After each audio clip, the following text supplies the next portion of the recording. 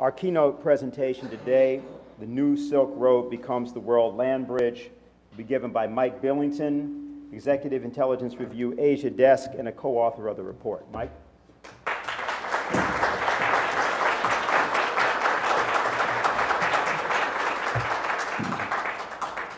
Click on that? Yeah. It's on there already. Start it up. Yeah. No. Yeah, good, okay. Thank you, thank you, Dennis, and thank you all. we've, we've heard clearly from Dennis uh, of what the American system tradition is, the system of Alexander Hamilton.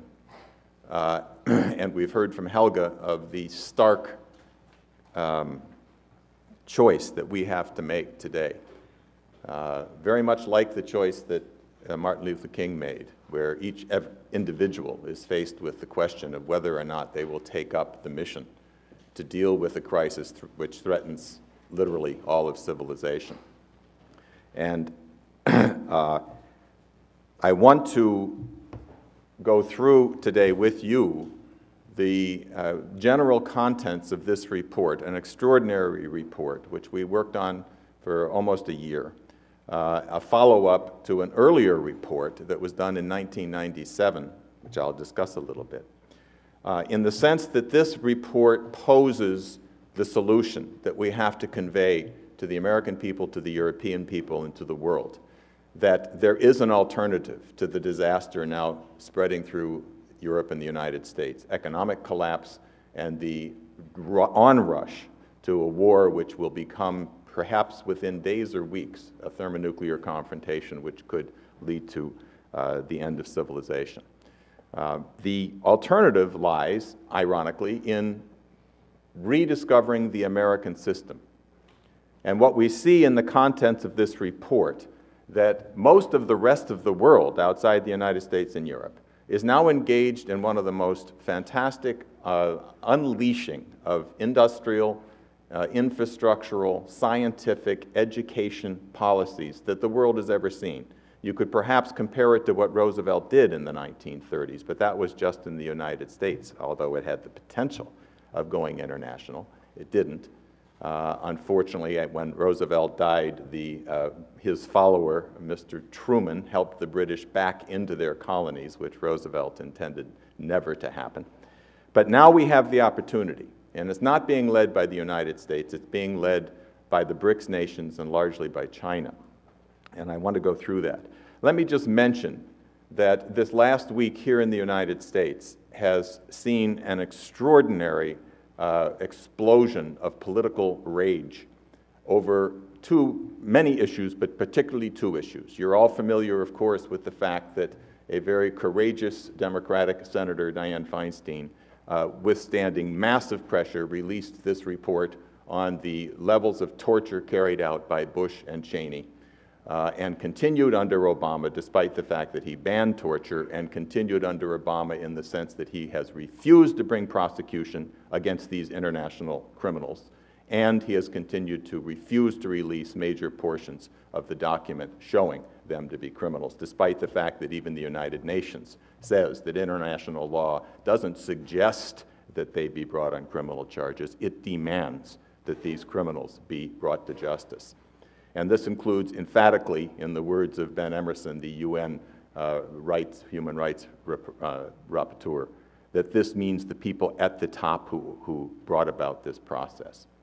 This has, a second incident happened just in the last few days when, in the passing of the budget to prevent another government shutdown, the collaboration between President Obama and the Republican leadership and Wall Street rammed through a rider to the budget bill which wiped out the little tiny piece of the Dodd Frank bill which actually did something, which prevented the banks from doing some of their derivative trade, their gambling, off to a different institution which would not be backed up by the taxpayers by government bailout.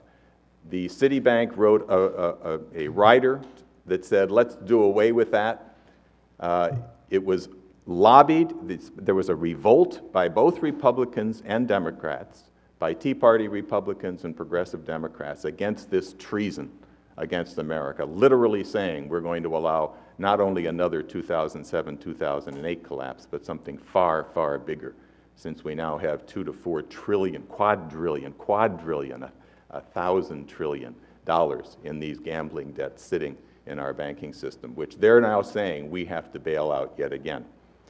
But the, the result of this, this barely passed, and it, it barely passed because our political parties are now in shambles, both the Republican and the Democratic Party.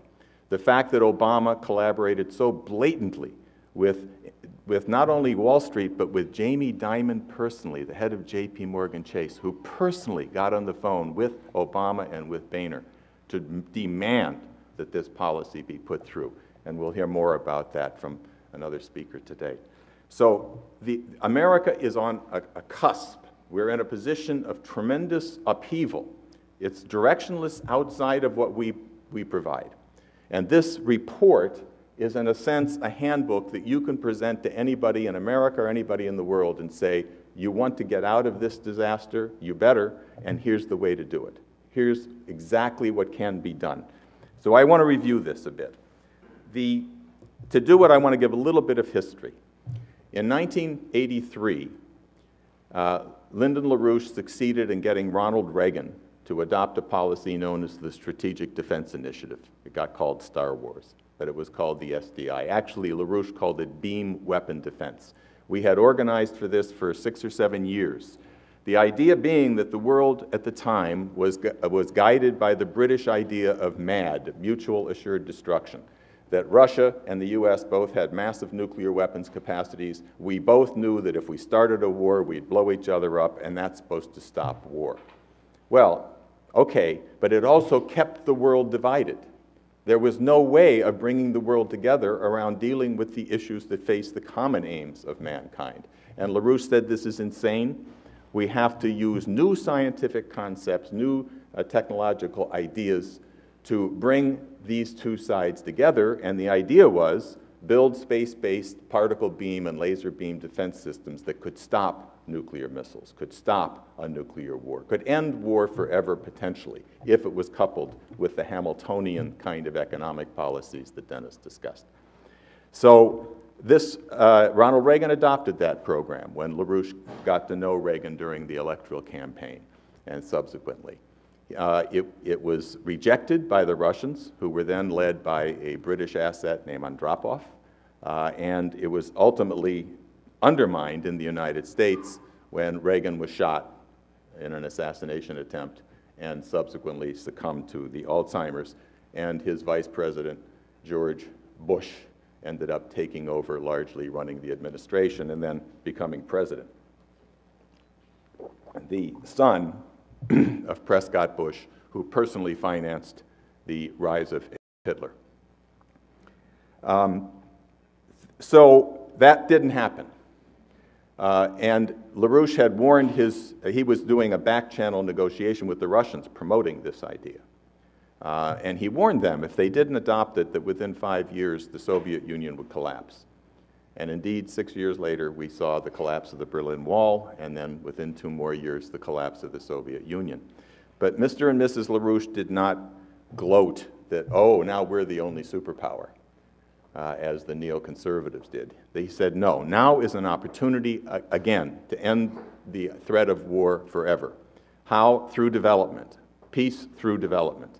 And they launched a proposal for the development of what became the Eurasian Land Bridge, or the New Silk Road, that Europe and, the, and, and Asia could be united through high-speed rail connections through Russia, through Central Asia, and in that way develop the entire area through which these transportation corridors passed and bringing about peace rather than conflict between these nations.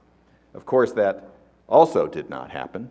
Instead, Bush chose to send in uh, bankers to loot Russia to the bone, committing genocide against the Russian people, uh, and beginning to move NATO up to the borders, as Helga discussed today, which has led to where we now stand in the threat of a thermonuclear confrontation. But that idea was very widely received in Russia and in China. And over the period of the 1990s and 2000s, Mr. LaRouche was in Russia repeatedly. Mrs. LaRouche was in China repeatedly, uh, basically building this idea that we can and we must bring Russia, China, and India, and they were both in India, by the way, repeatedly, meeting with Indira Gandhi and others, uh, uh, saying that these three great nations have to bring about, in collaboration with an America changed back to American system principles. Then we can bring about the defeat of this British imperial design, which we're facing today. Uh, and in fact, now th these ideas of Lyn and Helga LaRouche are being implemented by the BRICS powers, uh, and we must bring about the United States joining with those BRICS nations. There's a petition here, I'm sure it's outside, right?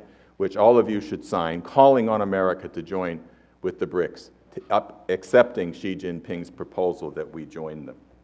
Now, uh, this is the report. Go, oh, I'm going to do my own maps here. Hold on. Yeah.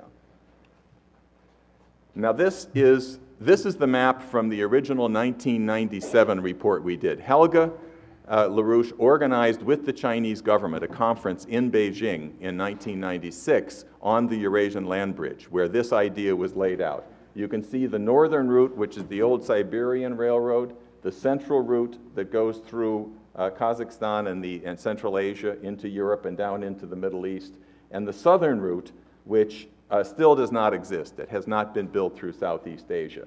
The central route that did not exist at that time is now functioning. There's a railroad leaving China and leaving Europe every day, carrying freight back and forth. It needs enormous upgrading, but it's functioning, it's starting. This is the process that's been unleashed largely by the Chinese since that time. Um, and I think the thing to notice is that these land bridge ideas are corridors. They're not just getting from one end to the other. They're creating a condition like the Trans-Siberian, uh, Trans-American, the Transcontinental Railroad. It opened up the interior. It made it possible to build new cities, and in this case, nuclear-powered nuplex cities, which is what we have to do if we're going to open up this vast territory. It's based on a principle that came from Gottfried Leibniz. Uh, Gottfried Leibniz was, in a certain sense, was one of the leading mentors to Lyndon LaRouche, the great um, the great philosopher, scientist uh, from the 17th and 18th century, uh, who I could say a lot about. But he was in collaboration with the Jesuits who were in China at the time and began a journal called Novissima Sinica uh, with news from China, which uh, basically conveyed the incredible discoveries that the Jesuits are making about Confucianism and this advanced culture in China, a culture which at that time was far more advanced than Europe. And what Leibniz said, you can read that, whoop, um, is, I consider it a singular plan of the fates that human cultivation and refinement should today be concentrated, as it were, in the two extremes of our continent, in Europe and in China, which adorns the Orient as Europe does the opposite edge of the earth. Perhaps supreme providence has ordained such an arrangement so that as the most cultivated and distant peoples stretch out their arms to each other, those in between may be gradually brought to a better way of life. And this is precisely the guiding principle of peace through development, which has been the, the core of what uh, LaRouche has been, has been putting into place. Now, this is the map from our new report. It's, actually, it's on the back cover of the report. If you look in the back, you'll see this map. Um, and I'm going to just very quickly, because of time, sort of point at a few of the main, uh, the main development projects, some of which are already underway, some of which are being unleashed today as we talk because of this BRICS process that began this last summer, and some of which we have to make sure come about. And they're not yet started, but they have to. Um, the, if you look at number two there, connecting Alaska and Siberia, that's building a tunnel under the Bering Strait and there's a history to that as well. In 2006, the Russians held a conference, uh, and Mr. and Mrs. LaRouche were invited, and Mr. LaRouche gave a keynote address on building a tunnel under the Bering Strait. And Vladimir Putin at that time said this is a war avoidance policy because already they were beginning to demonize Putin as the new Stalin. Russia is out to get us. Uh, and there's a whole history to how that was being unleashed by the British uh, and certain foolish, dumb Americans were going along with it. So Putin said, let's pose to the Americans what our common aims would be in connecting the totally underdeveloped Russian Far East and the totally developed American, Canadian, and Alaskan Far Northwest through a rail corridor that would open up trade, transportation, and so forth through that entire region. This is still the intent of the Russians. They have actually begun to build the rail heading up towards that strait, even though there's been no response from the U.S. And I think it's because they have confidence that the LaRouche movement is going to succeed. Um, if you look at the rail connection that goes up to the Bering Strait on the American side, that also has not been constructed, even though it was an attempt to do it way back at the time of the Civil War. To build a rail connection up through the US, through Canada, into Alaska, and then up to the Bering Strait. Now, that's a development corridor too, which we need to develop. But follow that down now, down through the United States, Mexico, and Central America. You run into something called the Darien Gap. There's about a 100 kilometer stretch there, which is marshland, for which there has never been a road or a, railroad built. This is absurd, and it can be done. It's not a technological problem. It has to be done. This, again, is something we fought for for the last 30 or 40 years, uh, so that you could take a train from southern Argentina all the way up through the Americas, through Central America, the US, Canada, Alaska, into Russia, down into China, over to Europe, down into Central you could grid the world with steel, which is an idea, again, that goes back to Abraham Lincoln's time when Henry Carey, his economist, wanted to grid the world with steel. Um, there's many, uh, there, there are both links and corridors. Links linking places that have been disconnected, like the Darien Gap and the, and the, uh, the Bering Strait. Uh, there's many other links. I won't go through them now. You could link Japan to the Sakhalin Islands and then to Russia through the north by bridges, and through the south to Korea, which could literally bring Japan into the, uh, into the Asian continent. You could connect Malaysia and Indonesia across the Malacca Straits that would bring Indonesia into the continent. Um, you could connect Europe and Tunisia with a bridge under the, a tunnel under the Mediterranean Sea. You can imagine how that would open up trade and collaboration between Europe and Northern Africa. So these are all uh, links. The development corridors, I think, are obvious. The, the Eurasian land bridge itself, the new Silk Road uh, developments, and we'll go through some more of these in a few minutes. There's also the Maritime Silk Road. Xi Jinping issued the new Silk Road development belt through Central Asia, but also the blue line you see coming down from China through the Malacca Straits, through the Indian Ocean, up through the Persian Gulf, all the way through to Europe. That's the Maritime Silk Road. It's based on the great treasure ships from the 15th century in China. At the time that Columbus was discovering America on what compared to the Chinese ships were puny little boats, they had ships three times bigger than that with thousands of people manning these ships, uh, led by the great Admiral Cheng He, who was making multiple trips along that blue line all the way over to Africa, uh, down the African coast to Madagascar, bringing back diplomats, bringing trade, and so forth. This was uh, way ahead of what was going on in the West in the, at that time. So now they're reopening that Cheng He route. In fact, when, when Xi Jinping announced the, uh, the, uh, the Maritime Silk Road, he stopped in Malaysia and met with Dr. Mahathir, the former prime minister there, and they formed the Cheng He Association to promote this idea of the peaceful collaboration between all of Asia with China, going back to the time of Cheng He. The only other thing I'll mention, uh, Helga mentioned that Nicaragua is building a new Panama Canal through Nicaragua. It's already begun this month. It's starting this month. And they're not a member of the BRICS, but this is how the BRICS process is expanding. Egypt, also not a member of the BRICS, is building a second Suez Canal. It's through this impulse of development that's now spreading throughout the world, everywhere except for Europe and the United States, which is grabbing people's imaginations and putting them to work, getting their minds going, getting the education process going, unleashing what in fact can be a basis for peace rather than war.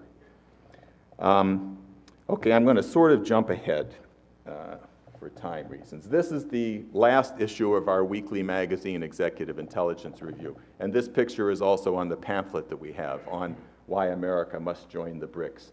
Uh, these are the five BRICS leaders, Mr. Zuma from South Africa, Xi Jinping, uh, Dilma Rousseff from Brazil, Mr. Modi from India, and Vladimir Putin.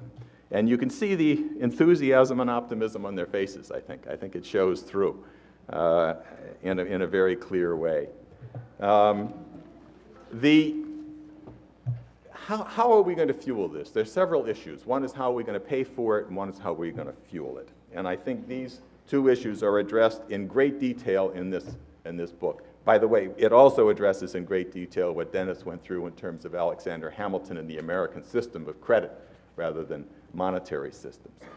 But um, this is a, a, an idea that I think Lyn discovered, actually, or, or came up with this concept of energy flux density. And in a sense, it characterizes the whole history of mankind.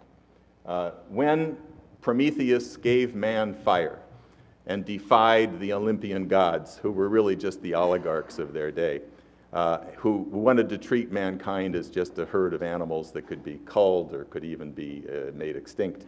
And Prometheus said, No, I'm going to give the, the, fire to mankind. And with fire, man was able to develop technology.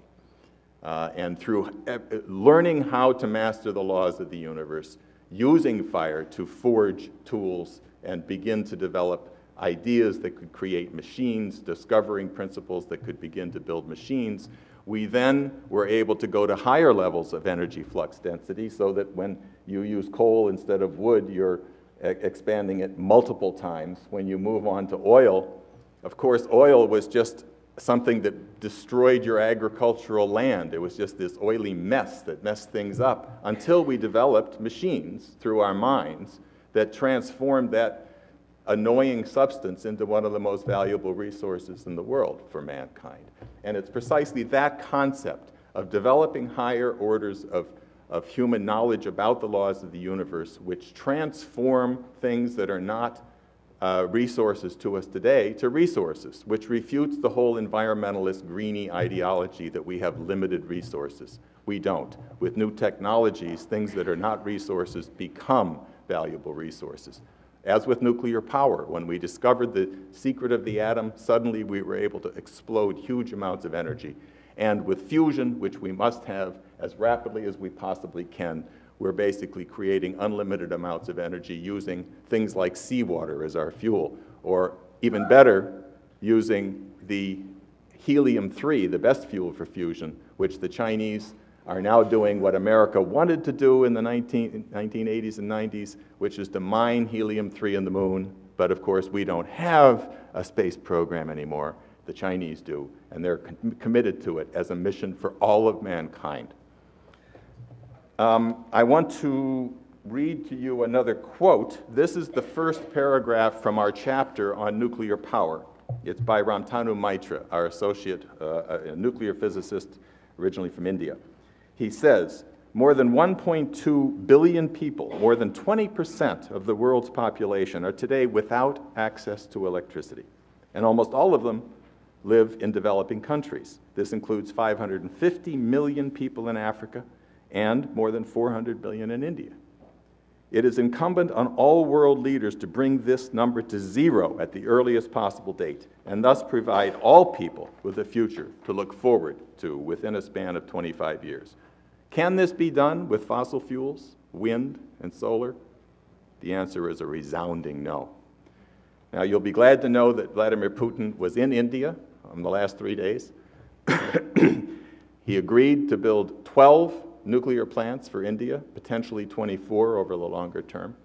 Uh, there is a, if you look at the world map of where the nuclear power plants are today, you'll see they're concentrated in the United States and in Europe and in Japan. The United States, however, hasn't built a nuclear plant in 40 years. Europe, Germany is the heartland of Europe. There are some exceptions, but Germany, under Angela Merkel, this asset agent of the British banks, is shutting down Germany's nuclear power, just as she refused to build maglev high-speed rails in Germany. Japan has no nuclear power plants functioning today. There's 50 dots there, 50.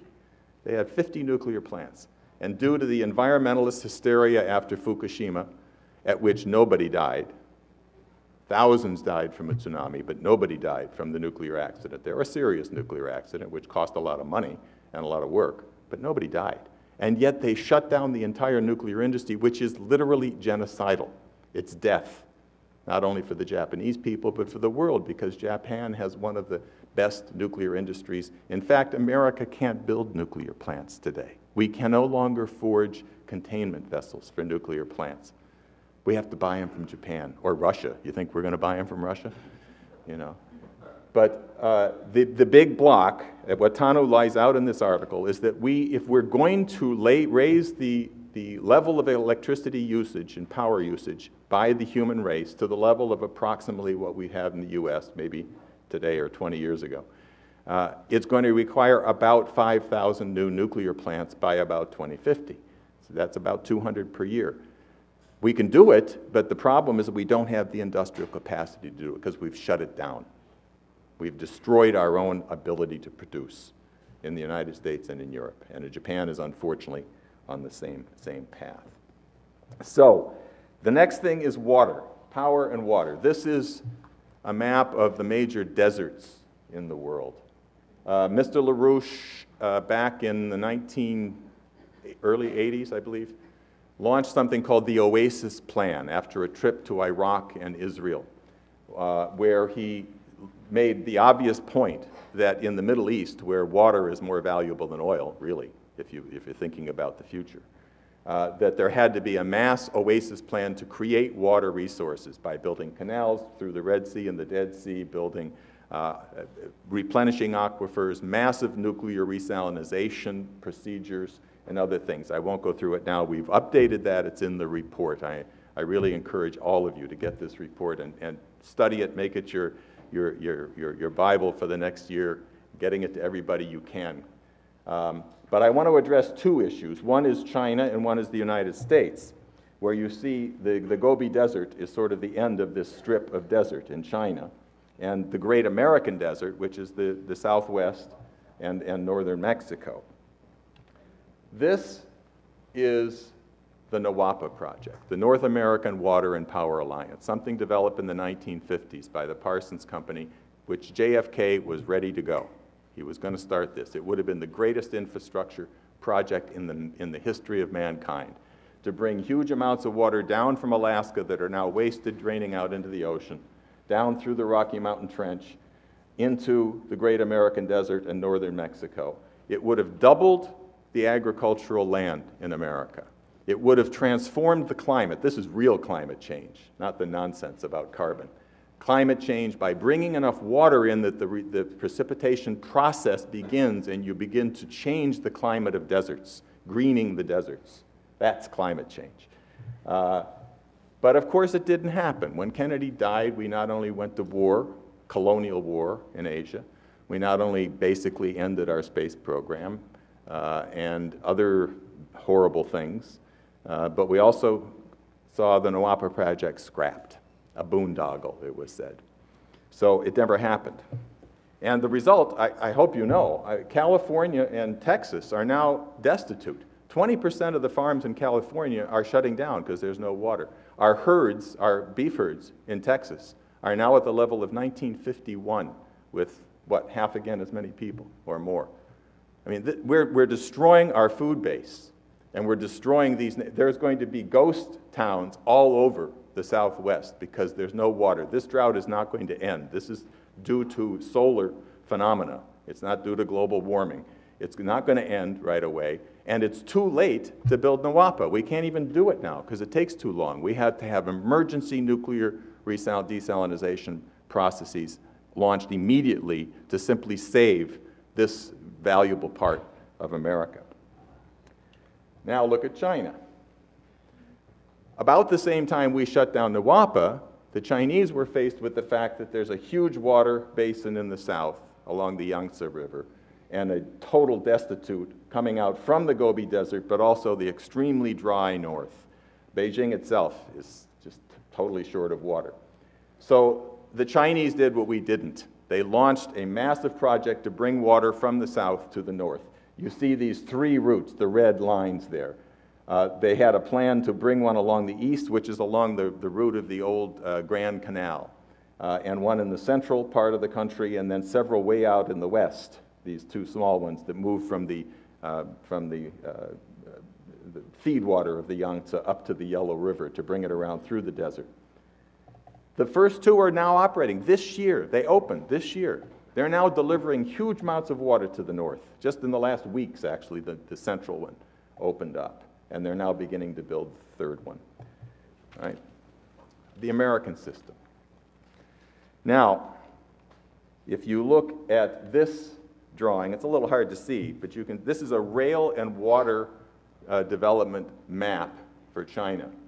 But this is almost 100 years old. This was 1919 when Sun Yat-sen, the father of the, of the Chinese Republic, who was educated in Hawaii by American followers of Abraham Lincoln and Henry Carey, who was educated in the policies of a man named Alexander Hamilton, after whom the conference today, who wrote about Hamilton as the core concept creator of what had to be used to bring China out of its colonial destitution and become a modern nation again.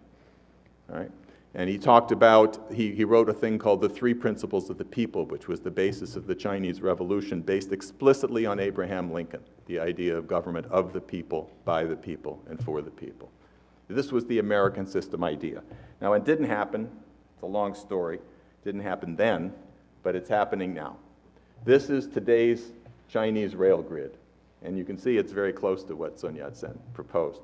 Uh, it doesn't show, although you can imagine, that these extend out on these land bridge ideas. I'll show you that in a second. Both to the north into Russia, into the west into Kazakhstan, down south into Southeast Asia, and of course crisscrossing the country. The, you can't see it too well, but all those blue lines are high-speed rail. They're going to soon have 18,000 kilometers of high-speed rail. In the United States, you know how many miles we have of high-speed rail? Zero. Zero. We were about to build one in Florida in the 1990s. It was all set to go. And then they elected a guy governor by the name of Jeb Bush. And his first act was to cancel the high speed rail project, a boondoggle. Right? The, the legislature was so angry that they put a, a, a, a resolution on the ballot for people to vote, changing the Constitution, making the Constitution say we must have high speed rail. And it passed. And it passed. And then the governor refused to fund it. He vetoed the funding bills. And then he managed to get the whole thing scrapped. So this is, yeah, Heil Hitler. Uh, so this is just one of the many reasons that Jeb Bush has to be destroyed. By the way, the release of that torture report has done a lot of damage to Jeb Bush and his Nazi uh, progenitors, uh, which is good. Uh, I, will mention, though, that Larry Summers, one of the people who brought about the entire financial blowout in 2007 and 8, uh, just said in a, a, week ago or so, he said, we don't need any of this fancy high-speed rail stuff. We should just fix up what we got. Just like, like Obama is famous for having said, we don't need any of this fancy fusion stuff. We can use windmills and, and solar panels. So uh, now if you take here's, here's the Chinese rail. If you look in the far west, this is a focus on Xinjiang, which is the province in the far west of China. Uh, what you hear about is that there's upheavals, there's terrorism, the Chinese are suppressing the rights of these people and so forth. Well, you know, the people there were living a, a, very poor life, very low lifestyle. Half of them are illiterate, and now they're being educated, now they're getting jobs. That's a whole story. But what they're doing in particular is those red lines are two high-speed rail connections from the east of China into Urumqi and Kashgar, the two capitals of the two major cities.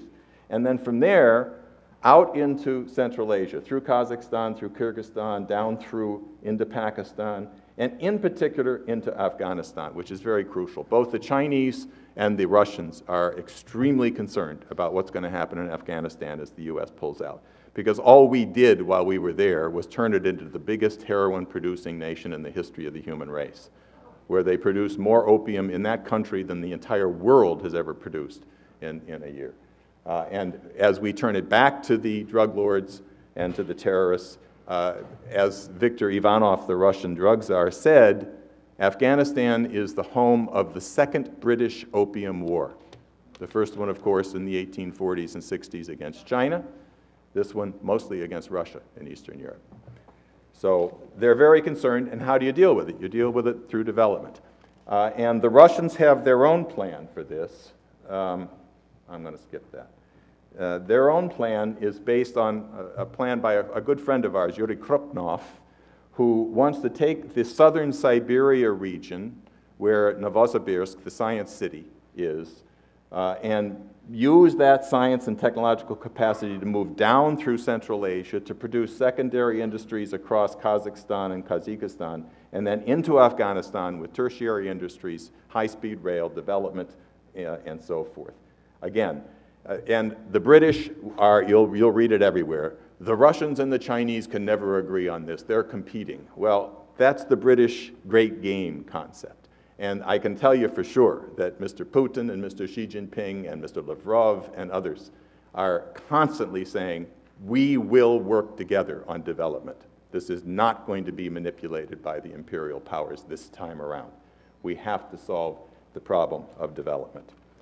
Um, now, I, this, I, this, I think, is the best diagram of the difference between European colonialism and what is being done by the BRICS nations today. This is a before and after. On the left are the railroads that exist now in Africa, right? And you can see it looks mostly like knives sticking into the gut of Africa, right? Because all the British and the Dutch and the Portuguese and so forth cared about was getting the raw materials out.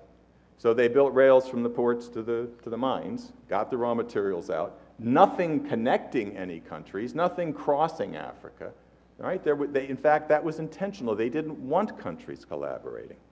Right? Now look at the right. This is what's proposed now, mostly by the Chinese, but with some Japanese and Korean and other input as well. Uh, as Helga mentioned, a, a, railroad, well, no, she didn't mention this one. They're going to build a rail from a railroad across Africa from Djibouti to, uh, from Dakar in Senegal to Djibouti. Uh, uh Li, Li Keqiang, the, the premier, when he was there, promised that they, the, the Chinese would build high-speed rail connecting every capital of, of Africa. So they need raw materials, I assure you, and they're exporting, uh, importing a lot of raw materials from Africa. But the difference is that they're paying for them. They're not paying for them with, with pieces of paper, which really are debts with which they controlled these countries. They're paying for it with infrastructure, with schools, with hospitals, with railroads, with dams, water projects. They're creating real nations that can be true collaborators. Uh, exactly what our founding fathers intended and what uh, Franklin Roosevelt intended after the war had he lived. The South America is, is basically the same. Helga mentioned they're building a railroad from Peru to Bolivia. Same thing. We, we had a book called The United States of Latin America sometime in the 1980s, basically laying out an even more aggressive plan than this to connect the countries of South America, to crisscross South America, make it possible for them to develop the way America developed through connectivity, through connections, making it possible to get beyond the colonial control. Dennis already took care of this one. This is how do you pay for it? Well, you pay for it by using creditary systems rather than monetary systems. What Hamilton discovered was that we could have a creditary system through national banking where the government didn't have to borrow from the private banks or from the British or from Wall Street. We could create credit ourselves. We could generate that credit through the private banking system, but with strings attached. You can only use this for things that uplift the general welfare of the population, that create higher levels of productivity in water, power, roads, transportation, education, health, and so forth. That's the American system of national banking, which we can and must restore. The BRICS are generally using this kind of approach, although it must be said that they're really largely using the huge resources piled up in China as a result of what, what they did there. Uh, and in, in the long run, we have to bring the world around to this idea that you don't need to have stores of money or borrowed money. You can actually generate credit if you have a creditary system based on Hamilton's ideas, uh, as Sun Yat-sen understood. Um, I'm going, and then I, the other, I won't go through it now, but the obvious point about this, we have to stop being earthlings. We have to follow Krafft Ehricke's idea of the extraterrestrial uh, imperative of mankind, reaching out into the universe. We were doing it here in America. Uh, that was scrapped. The Chinese are doing it now. This is the Yutu that's now on the moon that the Chinese sent up there. And they have a process by which they want to start mining uh, helium-3, bringing it back to Earth to fuel the nuclear reactors. This is their nuclear reactor, the East Tokamak, that the Chinese are working on. And in fact, while the idiot American Congress and its idiot president have outlawed collaboration between NASA and the Chinese space scientists, even though they're now getting ahead of us, but we banned it because they're bad guys and we don't want them to steal our technology. Well, we, we better start stealing theirs pretty quick. Uh, uh, but on fusion, that's not true. There's still very close collaboration between American fusion scientists and the Chinese, which is extremely important. Now, I'm going to end with a brief comment on Chinese philosophy. I spent a long time as a ward of the state studying Chinese philosophy uh, and comparing Chinese philosophy to, uh, to the uh, uh Western Renaissance and the works of Confucius and Mencius, and, and mo even more important, really, Zhu Xi and the Sung dynasty in the 12th century. But it's very important that what Helga has really emphasized is that when the Chinese came out of this horrendous cultural revolution between about 66 and 76, which was a total dark age, it was an all out, and it was manipulated and they were driven into it by British. But what they did was, was totally self destructive, attacking not only Western culture, but Chinese culture. Uh, a major part of the Cultural Revolution was the anti Confucius campaign where children were told not to read the classics, not to learn their history. Uh, when that ended, when Deng Xiaoping began to bring China out of this nightmare, uh, the, I think one of the most, it was opening up to the West, it was sending tens of thousands of people out. We have a chapter in the book on what Deng Xiaoping did to bring China out, sending thousands and thousands of students around the world who now are coming back as trained scientists and engineers and are doing all of this stuff. Um, but a, a, major part was the Confucian revival, bringing back the Confucius and Mencius, his, his follower 150 years later, these ideas. What Confucius taught, and at the time China was not united, he would go from kingdom to kingdom and he'd say, yes, okay, you're the leader, you have the, what they called the mandate of heaven. But if there's strife in, in the kingdom, the mandate of heaven will be taken away from you. It's very much like our Declaration of Independence. If, if you're, you know, being mistreated, the people have the right to take that power back. Uh, and he said that people, like Plato, he said people are born with qualities of agape, ren, and righteousness and knowledge. Uh, and people are not animals. We have this amazing creative power of the mind which distinguishes us from animals. Those things are there. Mencius, or Confucius said, you have these principles inside you, you're born with them. If you seek for them, you will find them. If you neglect them, you'll lose them. And Mencius, beyond that, said that if there is strife in the, in the, in the population, if people are not provided with a, a, a livelihood with which they can sustain themselves, then people's minds will be drawn to all kinds of degradation and licentiousness and crime. But, he said, for the government then to come back and arrest them for their crimes, this is entrapment.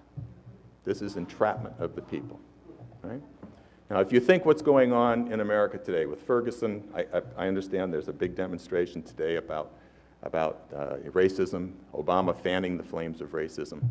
There's no question but there's racism. But is that natural to people? Is, this, is what we're seeing now today something that's the real human coming out in us? No, quite the opposite. This is precisely because we've destroyed our economy. Ferguson was a, a prosperous area with auto plants and steel plants. People were living middle class lives with good jobs. That's destroyed.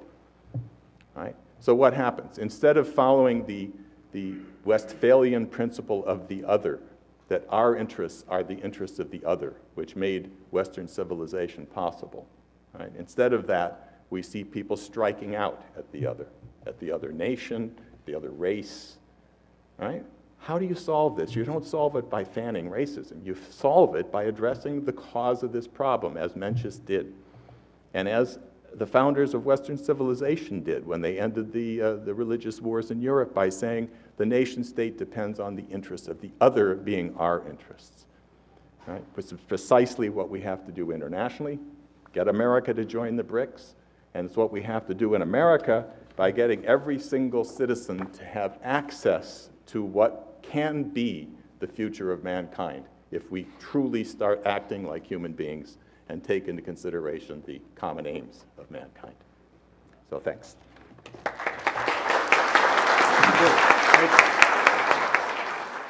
Levels of torture carried out by Bush and Cheney uh, and continued under Obama, despite the fact that he banned torture, and continued under Obama in the sense that he has refused to bring prosecution against these international criminals. And he has continued to refuse to release major portions of the document showing them to be criminals, despite the fact that even the United Nations says that international law doesn't suggest that they be brought on criminal charges. It demands that these criminals be brought to justice. And this includes emphatically, in the words of Ben Emmerson, the UN uh, rights, human rights uh, rapporteur, that this means the people at the top who, who brought about this process. This has, a second incident happened just in the last few days when, in the passing of the budget to prevent another government shutdown, the collaboration between President Obama and the Republican leadership and Wall Street rammed through a rider to the budget bill which wiped out the little tiny piece of the Dodd Frank bill which actually did something, which prevented the banks from doing some of their derivative trade, their gambling, off to a different institution which would not be backed up by the taxpayers by government bailout. The Citibank wrote a, a, a rider that said, let's do away with that. Uh, it was lobbied, there was a revolt by both Republicans and Democrats, by Tea Party Republicans and progressive Democrats against this treason against America, literally saying we're going to allow not only another 2007-2008 collapse, but something far, far bigger since we now have two to four trillion, quadrillion, quadrillion, a, a thousand trillion dollars in these gambling debts sitting in our banking system, which they're now saying we have to bail out yet again. But the, the result of this, this barely passed, and it, it barely passed because our political parties are now in shambles, both the Republican and the Democratic Party. The fact that Obama collaborated so blatantly with with not only Wall Street, but with Jamie Dimon personally, the head of JP Morgan Chase, who personally got on the phone with Obama and with Boehner to demand that this policy be put through. And we'll hear more about that from another speaker today. So the, America is on a, a cusp. We're in a position of tremendous upheaval. It's directionless outside of what we, we provide. And this report is, in a sense, a handbook that you can present to anybody in America or anybody in the world and say, you want to get out of this disaster, you better, and here's the way to do it. Here's exactly what can be done. So I want to review this a bit. The, to do it, I want to give a little bit of history. In 1983, uh, Lyndon LaRouche succeeded in getting Ronald Reagan to adopt a policy known as the Strategic Defense Initiative. It got called Star Wars but it was called the SDI. Actually, LaRouche called it beam weapon defense. We had our keynote presentation today, The New Silk Road Becomes the World Land Bridge, will be given by Mike Billington, Executive Intelligence Review Asia Desk, and a co-author of the report. Mike?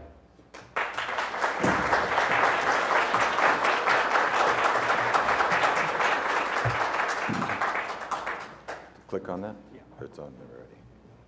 Start it up. Yeah. No. Yeah, good, okay. Thank you. Thank you, Dennis, and thank you all. we've, we've heard clearly from Dennis uh, of what the American system tradition is, the system of Alexander Hamilton. uh, and we've heard from Helga of the stark um, choice that we have to make today. Uh, very much like the choice that uh, Martin Luther King made, where each individual is faced with the question of whether or not they will take up the mission to deal with a crisis th which threatens literally all of civilization.